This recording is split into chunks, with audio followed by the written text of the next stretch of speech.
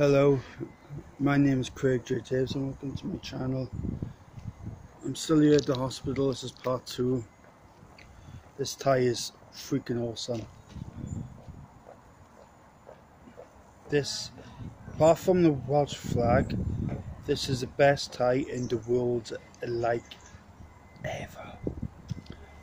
Anyway, what's the point I'm trying to get across? Yeah my dad has just come out, the a, nurse wheeled him out.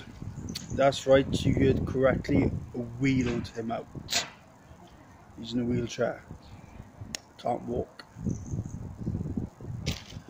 Since the second stroke, he can't walk. But the good news is, he's compos mentis, right? He is all there upstairs. He can still speak, you know, he's aware, he, he, so he isn't oblivious to what's going on around him, he's aware, uh, you know, so he's aware of his surroundings, blah blah blah, but physically, no, nah, he's gone. Physically, no, can't walk He's lost the use of his legs. That's because the signals from his brain to his legs have been severed due to the stroke. He's been telling me that his conscience is screaming. Right, that's just a figure of speech, but he's been that his conscience is screaming because he wants to uh, move his legs. He is trying, but he can't. But so you know, so his brain is like saying, "What the hell is going on here?" But um, he's been having physio. Fucking hell, pardon my French, but you know in a way, I don't recognise him because ever since I've uh, known my father grown up, he's always been active, always been out and about, always be able to do things, and he's gone from that to being a forgive me if this it doesn't sound political correct, but I don't care. He's gone from being active, being fit, to being going out and about, to being a oh, bloody seagulls. I'm cursed. I'm convinced that, that those things follow me. I am. I am convinced that. Anyway, point I'm trying to get across is my father has gone from being active to being social to being out and uh, to being out and about able to run up and down the stairs like a two-year-old to being a to being a a, a decrepit cripple. Here we are just goes to show how much things can change, isn't it? And instantly as well. But I tell you what, he was perfectly fine until he had the injections. You know I'm talking about, right? Yeah, that's all I'm going to say.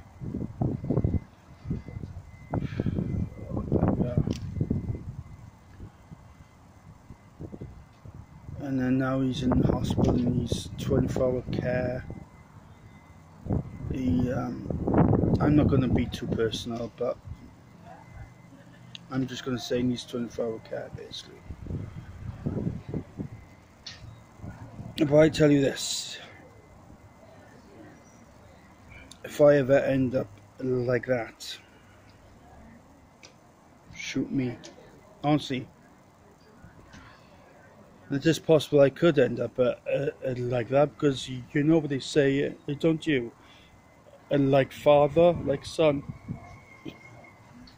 Or as I always say, the son becomes the father, the father becomes the ass. But yeah, I just saw the nurse now just wheeling back in the hospital. And I, yeah, I shouldn't laugh, I know that, but it's a coping mechanism, isn't it? If I didn't laugh, I'd cry. I really wish Rockin' Roberta was still with us. Because if she sees, if she ever, if she ever saw this video, which of course she never will because she's uh, six feet under. But if she ever got to see this video, she would know exactly what to, to, to say. She knew what words to say and use at the right time to comfort someone. And now I don't even have her all I have is a, a God and my Christian faith. You know, to see, just, just the, the nurse just seeing him being wheeled back into the entrance. He's there, look, see? That's the entrance. And it was it was someone I didn't recognize. The human mind is a funny thing, isn't it? It can be a blessing or it can be a curse. It can be your best friend or your worst enemy. Never underestimate the power of the human mind, people. I need a pint. I seriously need a pint. I tell you, I could murder a pint of beer. Oh. But as I said in part one, I can't because I'm working tomorrow. I'm, I'm up early. Never drink on a school night. I've learned that the hard way. There's nothing worse than going into. There's nothing worse than going into work with it. Look at this tie. Sorry, sorry.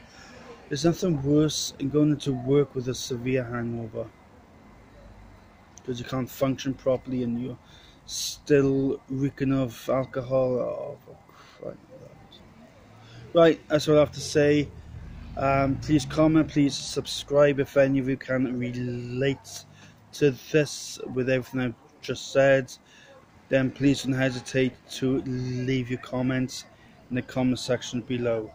Uh, thank you all and stay stay tuned for this Sunday for this Sunday's sermon. It's going to be epic. Right.